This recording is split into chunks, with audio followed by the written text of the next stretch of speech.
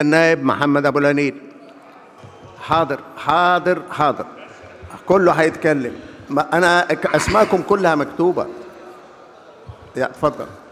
شكرا سياده الرئيس الحقيقة آه هذا القانون المعروض يمكن إنجاز كبير بيضم إلى سلسلة الإنجازات اللي مجلسكم الموقت تفضل بيها.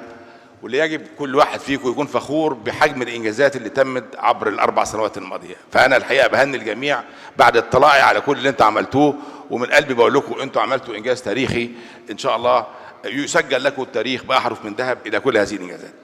هذا القانون يمكن آخر آخر محدثين دلوقتي تكلم في في في, في صلب الموضوع.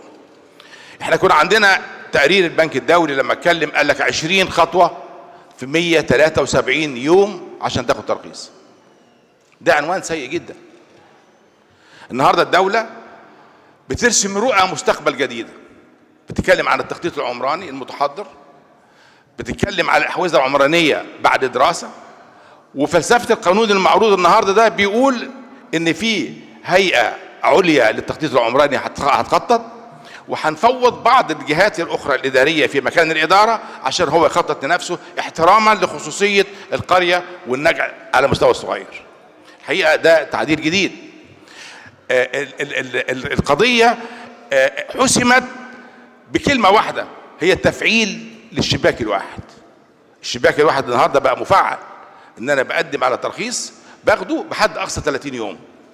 ده ما كانش قبل كده إحنا كنا بنقعد نجري ونروح ونجري ونروح ويقول لك قطع المدة ونبدأ من أول وجديد قصة كانت مرهقة جدا الحقيقة ده إنجاز إذا حسم وحسمت معه عملية الميكنه الحديثة التكنولوجية التكنولوجيه لادارته هو ده بيت القصيد النهارده. والمديرين أو العاملين اللي هينفذوا هذا القانون. ده الحقيقة قصه اتفضل. قصة مهمة جدا يجب يعني أخذها في الاعتبار. القضايا بصفة عامة في مصر النهاردة يا فندم في حتة التخصصية. النهاردة القانون بيقول لك الأحوزة العمرانية ده جهاز معين. المناطق الصناعية هتقوم بها الإدارة الخاصة بالتنمية الصناعية. الزراعية تقوم بها التنمية الزراعية. السياحية تقوم بها التنمية السياحية. والتخصص ده كويس لأنه النهاردة فك المشكلة بالتخصصات اللي منها تقدر كل واحد متخصص يقدر يبدع فيها. سعادتك في أول ما أطلع في الجلسة قلت كلمة مهمة جدا. قلت التجربة نفسها لو قدرنا نعممها عن طريق متخصصين من الخبراء. الفلسفة دي يا فندم في غاية الأهمية لأن لو أنا بعت النهارده أنا بخلق التنافسية الجديدة. بخلق التنافسية عشان إخراج الإبداع من كل المستشارين مصر. لما يكون عندي مستشار مستشارين كلهم وكلمة مستشار ده معناه إنه عدى عليه 15 سنة عشان يبقى مستشار في الهندسي.